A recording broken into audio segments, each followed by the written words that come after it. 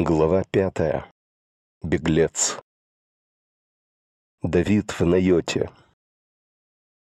Выбор дома Самуила в качестве убежища был не случайен. Давид был убежден, что Саул не осмелится отдать приказ ворваться в дом пророка. Однако Самуил, зная, что царь не простил ему последнего пророчества, и так же, как и Давида, числит его в своих врагах, отнюдь не разделял этой уверенности. Поэтому, услышав от Давида рассказ о последних событиях, он решил укрыться от него в своей школе пророков, расположенной в другом квартале Рамы, на Йоте. Десятки учеников изучали в этой школе под руководством Самуила священное писание. Часы учебы перемежались в ней с регулярными пламенными молитвами, и у Самуила была надежда, что Саул действительно не решится производить арест Давида в таком месте на глазах множества людей. Устное предание рассказывает, что, придя в школу, Давид и Самуил уединились и до рассвета учили Тору. Причем с присущей для фольклора гиперболизацией добавляет, что за одну эту ночь Самуил открыл Давиду такие скрытые в Торе тайны мироздания, для постижения которых другим обычным людям понадобилось бы сто лет непрерывной учебы.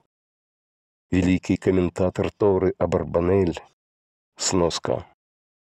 Абарбанель, 1437-1508, один из лидеров евреев Испании во время изгнания в 1492 году. Автор расширенного комментария к Библии, изданного в начале XVI века в Венеции, Конец сноски. Абарбанель, основываясь на сборнике Мидрашей и Ялкут Шимони, рисует более развернутую картину этой ночной беседы между будущим царем и пророком.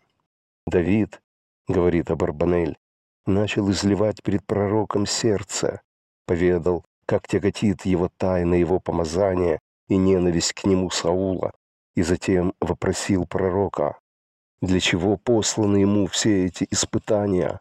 Может ли он отказаться от своей миссии? И если не может, то в чем, собственно, эта миссия заключается? И вот в ответ на это Самуил и развернул перед ним свиток Торы и прочел отрывок, предписывающий каждому еврею три раза в год на праздники Песах, Суккот и Шавуот являться, цитата, пред ликом Господа Бога вашего, в месте, которое тот изберет». Второзаконие 16, 16, 17. «Сейчас, — сказал Самуил, — таким местом считается Нов, потому что там стоит ковчег Завета. До этого ковчег стоял в Шило, и народ на празднике являлся туда. Однако настанет день, когда евреи окончательно утвердятся в обетованной им Богом земле, и тогда ковчег будет перенесен в величественный храм, сооруженный действительно в избранном Богом месте. Таким местом, продолжил Самуил, является гора Мурия, на которой некогда Авраам хотел принести в жертву Исаака, а затем на этой же горе, бежавшему от своего брата Исава, Иакову, открылась во сне чудесная лестница, и было повторено данное Аврааму и Исааку обещание сделать еврейский народ не только многочисленным, но и народом вечным. Сейчас гора Мурия находится в принадлежащем Иевусеям Иерусалиме, и одним из важнейших деяний Давида должно будет стать завоевание этого города, а также точное определение места, где должен стоять храм и его строительство, или, по меньшей мере, подготовка к этому строительству. Тем временем Саулу донесли, где скрывается Давид, и он немедленно послал в раму отряд для его ареста. Дальше рассказ Библии на первый взгляд сбивается на явно фантастические, сказочные мотивы. Как только посланцы Саула встретили там сонм пророков, на них тоже сошел Дух Божий, и они стали пророчествовать и совершенно забыли, для чего были присланы. То же самое произошло и со вторым, и с третьим отрядом, посланным Саулом. Тогда сам царь отправился в Раму, чтобы, наконец, призвать своих людей к порядку. Но и на него также сошел дух пророчества. Причем то, что открылось Саулу в минуты пророческого откровения, было настолько страшно, что царь снял с себя всю одежду и, рыдая, пролежал неодетый весь день и всю ночь перед пророком. Исследователям Библии вся эта картина представляется, возможно, чуть сгущающей краски, но отнюдь не нереальной. Во всяком случае, сам факт существования подобных школ пророков подтверждается многими историческими источниками. Цитата.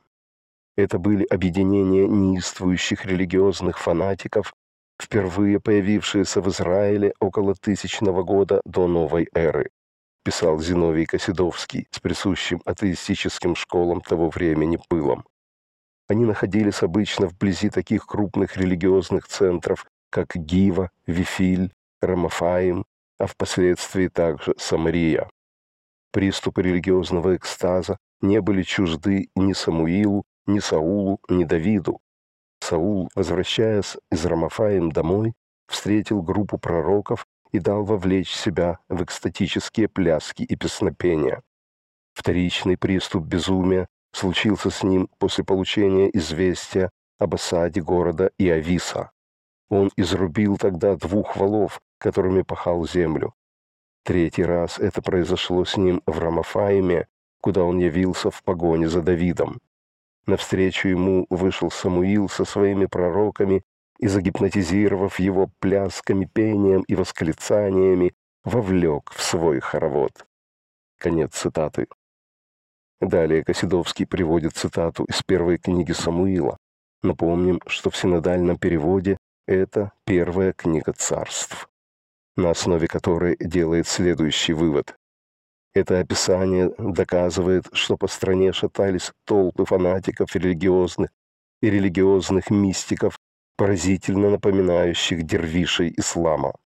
Эти израильские пророки носили полотняные одежды и специальные пояса, и, подобно дервишам, собирали милостыню. Их религиозные обряды включали в себя не только песнопения, пляски и прорицания, но и самобичевание, истязание тела различными орудиями пытки. Знаменательно, что эти пророки появились на арене израильской религиозной жизни довольно поздно. Это доказывает, что коллективное экстатическое пророчествование не было местным израильским явлением. Вопрос его происхождения все еще остается открытым.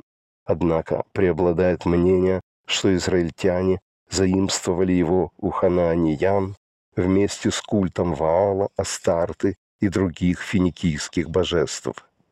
Конец цитаты. Древние авторы придерживаются более спокойной в кавычках версии. Для них школы пророков были прежде всего центрами изучения и сохранения закона Моисея. Однако и они признают, что во время молитвы в таких школах практиковались различные техники медитации, погружения в себя, а также впадения в состояние неистового религиозного экстаза, в котором человек отрешался от всего мирского и, кавычки, выходил на прямую связь с Богом, кавычки. Видимо, в это состояние под воздействием массовой экстатичной молитвы и впали царь Саул и его слуги и пребывали в нем, как следует из текста, не меньше суток. Давид, не поддавшийся тогда общему настроению и сохранивший ясность мысли, узнав, что произошло, поспешил покинуть Раму.